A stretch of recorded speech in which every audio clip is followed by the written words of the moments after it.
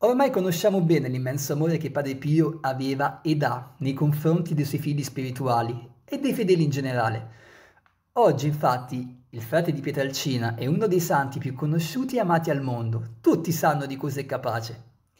Con l'infinità di prodigi che il buon Dio gli ha permesso di compiere, il frate con le stigmate è uno dei santi più venerati al mondo.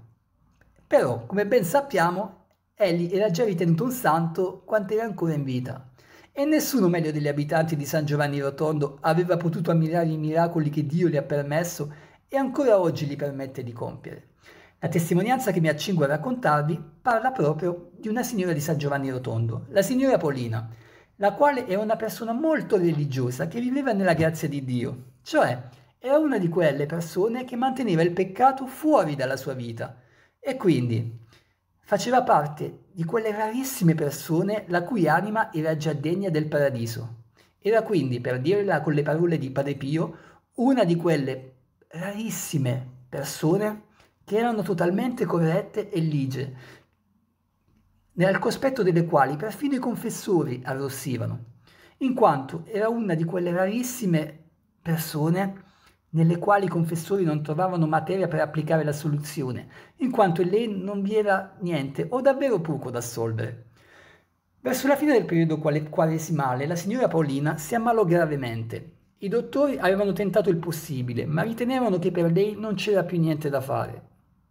Il marito della signora Paolina, accompagnato dai loro cinque figli, si recò al convento di San Giovanni Rotondo da Padre Pio, dove supplicò che Padre Pio intercedesse presso Dio affinché egli guarisse la moglie. I figli fecero lo stesso e i due figli più piccoli, i due bambini, addirittura si attaccarono al saio di Padre Pio pregandolo di guarire la loro mamma e mentre chiedevano ciò piangevano. Padre Pio, che come sappiamo aveva il cuore molto buono, si commosse, consolò tutti quanti e promise loro di pregare per la signora Polina. Qualche giorno più tardi iniziò la settimana santa. Molta gente andò ancora una volta da Padre Pio per chiedere la guarigione della signora Polina. Di colpo Padre Pio rispose loro e la risposta che gli dette lasciò tutti a bocca aperta. La risposta fu la seguente. Resusciterà il giorno di Pasqua. Il venerdì santo Paolina perse conoscenza e alle prime ore del sabato santo entrò in coma. Poche ore dopo morì. I familiari di Paolina, seguendo un'usanza del luogo, presero il vestito da sposa per metterglielo. Infatti, secondo l'usanza, sul letto di morte alle spose, alle mogli veniva messo il vestito da sposa. Altri familiari, invece, corsero da Padre Pio al convento e ancora una volta chiesero a lui di fare qualcosa per uh, guarire Paolina. Il frate di Pietralcina ribadì, resusciterà, vi dico. Detto ciò, si girò e andò a celebrare la messa. Era il giorno di Pasqua le campane annunciavano la resurrezione di Gesù. In quell'istante, mentre recitava il Gloria, la voce di Padre Pio si spezzò e iniziò a tremare e dai suoi occhi cominciarono a scendere delle lacrime. In quello stesso istante, raccontavano poi i familiari di Paolina, Paolina si era risvegliata.